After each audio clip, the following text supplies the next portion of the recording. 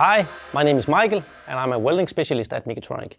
Today I'm going to talk about our arc adjust function. So arc adjust is about stabilizing the arc, fine-tuning the arc, so it's an extra tool you might find handy. Back in days or on older machines, on the MIG-MAG machines, we had our grounding either in 1, 2, 3 or A, B, C. In number 1 you get a colder weld, in number 3 you get a hotter weld. And it was called inductance. Nowadays on our inverter-based machines, MIG-MAG machines, it's called arc adjust. It's an electronic choke, so that means it has the same function. If you're welding with solid wires, and maybe you have to do a fillet weld in position PF, and you can't find the exact uh, amps. You think it's too cold. If you try to use your voltage in order to get it melted more, but you don't think it works, then you need to find the arc adjust.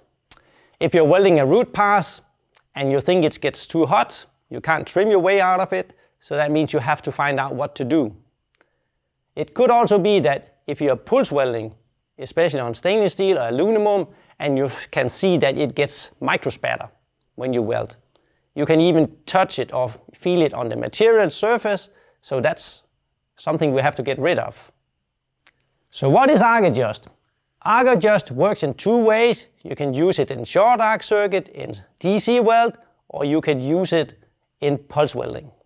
If we take a look at the DC weld, and it only works in short arc circuit. If you have found good settings, but you can see it spatters a little bit or you get an unstable arc, so that's why you need to find our arc adjust. If you choose to go in minus, the frequency will increase, so that means the wire will be chopped up in many, many small droplets, and that's why it gets cooler. If you choose to go in plus, the frequency will be lower, and the droplets will be bigger, but the time in between will be slower, so that's why it gets hotter. And also the sound picture will be different compared to if you go in minus on the arc adjust. If we take a look at pulse welding, it's very important that we don't get any spatter when welding. So that means if you can see spatter when welding, we need to find our arc adjust and find out if I have to go in minus or in plus. If you go in minus, your frequency will increase. So that means we will take or lower our pulse heights and then you need to find out, okay, how much do I need in order to get rid of the spatter?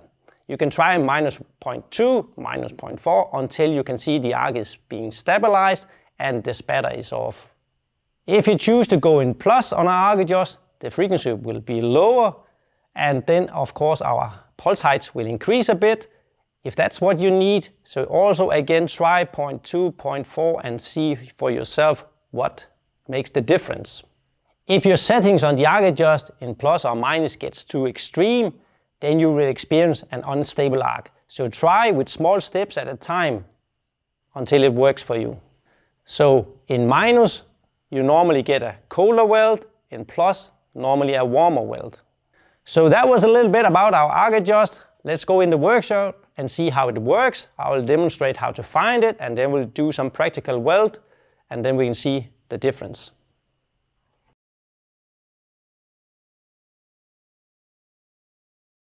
Welcome to our workshop.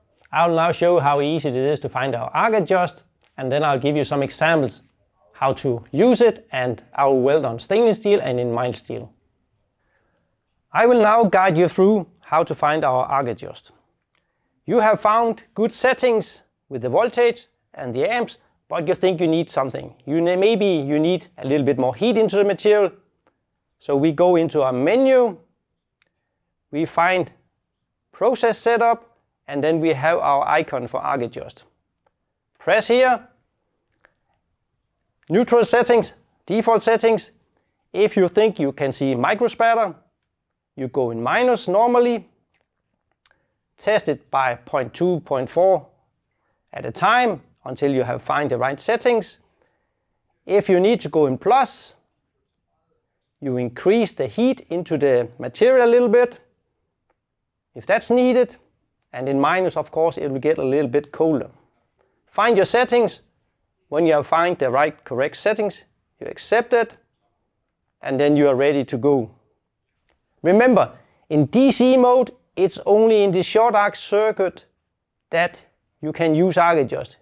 It doesn't have a functionality in the spray arc circuit, only short arc. If you want to pulse weld, we go into our menu with the arc and torch, find pulse, activate it. So now we're in pulse mode.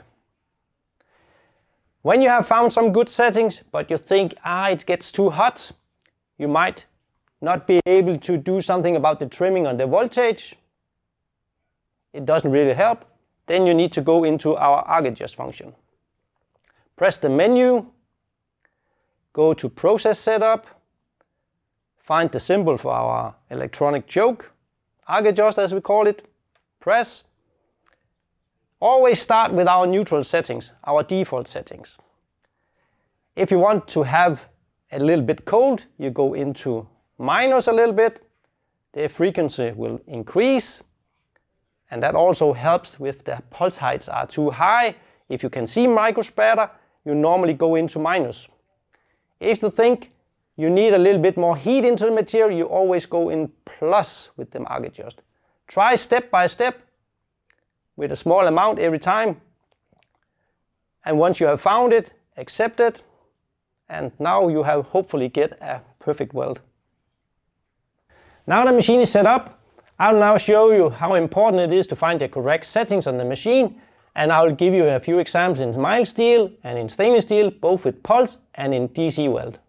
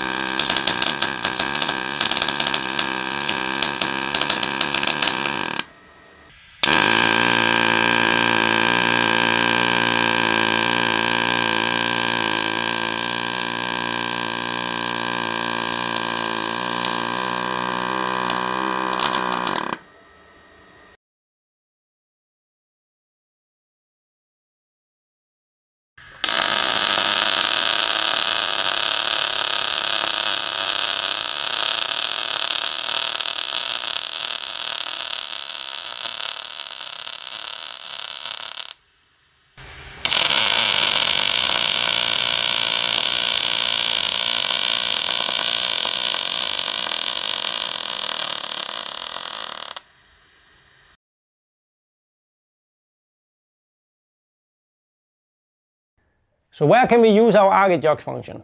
In DC mode, only short arc circuit. It can be used in any type of materials. MIG-MAG weld process only. And in pulse mode, it's to get rid of microspatter. So to summarize our arc adjust function, it helps you to stabilize the arc. It helps you, you to remove microspatter. And it's easy to use. So with these words, thank you for watching.